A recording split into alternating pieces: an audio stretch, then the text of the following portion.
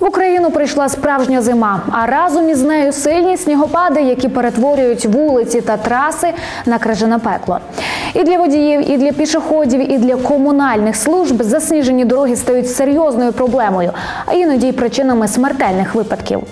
Ми вирішили показати, як борються із сніговим колапсом в різних країнах світу та на що варто звернути увагу українським комунальникам і чиновникам. У Норвегії за очистку вулиць від снігу повністю відповідає муніципальна влада. Пріоритет надають очищенню проїжджої частини. Більше того, в регламенті міста Осло підкреслюється, що рух автомашин не повинен зупинятися через сніг, що випав. Для цього у північної країни є 2600 снігоприбиральних машин. Крім того, використовуються ще й гейдери, трактори та розкидачі гарячого гравію замість піску. До речі, Норвегія велосипедна країна, тож там існують спеціальні комунальні підрозділи, які чистять велосипедні доріжки.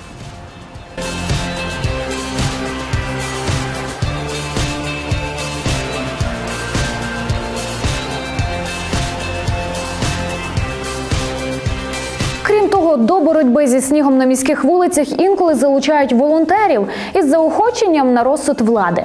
Часто плата за прибирання снігу це гарячий обід і вечеря в пересувній їдальні. У Німеччині на все є свої правила. За міські дороги відповідають зимові муніципальні служби. Додатково можуть залучати також приватні фірми. Коли очікується снігопад, ці служби переходять на посилений режим роботи. Чергові бригади, оснащені необхідною технікою, за потреби можуть працювати цілодобово у дві або три зміни.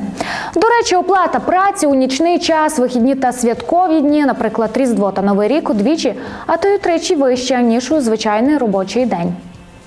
До боротьби зі снігом і ожеледицею в зимовий період співробітників починають готувати ще влітку. Для цього проводяться спеціальні курси та тренування, на яких їх не тільки вчать керувати снігоприбиральною технікою, а й що робити в екстрених ситуаціях. Крім того, водії снігоочисних машин мають добре орієнтуватися в місті, щоб максимально швидко добиратися до слизьких точок.